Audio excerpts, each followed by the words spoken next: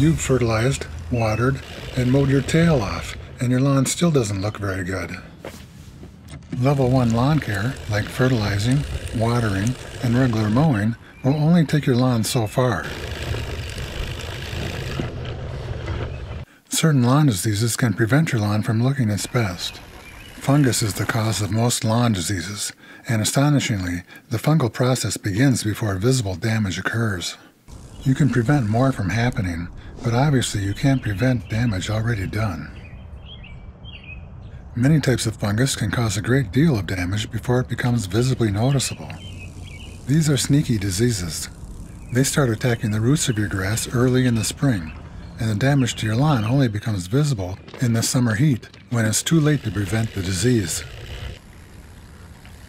Level 2 lawn care includes early season fungicide applications to control diseases that typically don't appear until summer but become active in early spring like fairy ring, dollar spot, brown ring patch, anthracnose, summer patch, necrotic ring spot, and take all patch. It's summer patch and necrotic ring spot that I have problems with every year. They both create circular brown spots that often have some other more drought resistant grass or weed growing in them. That gives them the frog eye appearance for which they're famous. In the past, Fungicides were mainly unavailable to homeowners, or you had to order them from specialty suppliers at unaffordable prices and high delivery charges.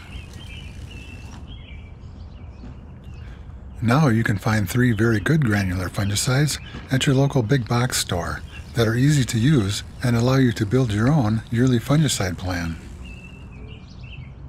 I prefer granular fungicides because they are convenient and easy to spread. But this is one situation where I need to use a granular fungicide. The fungus that causes summer patch and ring spot is a soil pathogen that lives in the soil. The granular form delivers the fungicide to the soil where it needs to be. You will need to change or rotate fungicides throughout the season to prevent fungus from developing resistance to your fungicide. Don't make more than two consecutive applications of any type or group of fungicides. For this application, I'm using a Group 3 fungicide. Group 3 fungicides are best for cool weather applications. Summer is a good time to switch to a Group 1 fungicide for more dollar spot prevention.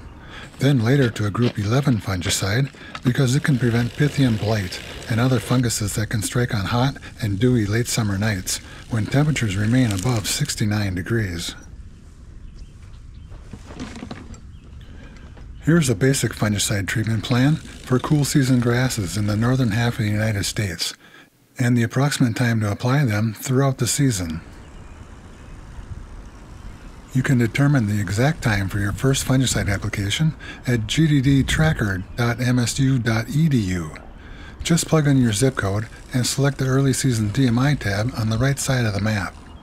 That will be when your 2 inch soil temperature is 55 to 60 degrees. Then, continue to make your following applications monthly.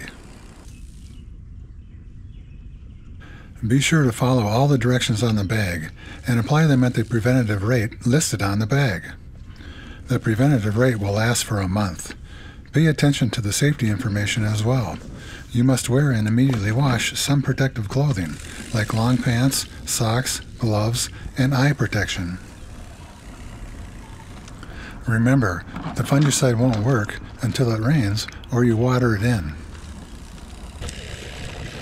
You can still get some fungus breakthrough if you're unlucky enough to get extremely wet and hot weather near the end of any monthly application. Still, a good preventative plan like this will prevent most diseases and give you a healthy level 2 lawn. Don't worry if you missed the best time to apply your fungicide. You can apply it now, and it will still help prevent further damage. Now get out there and have some fun on your lawn, and remember, you can do it.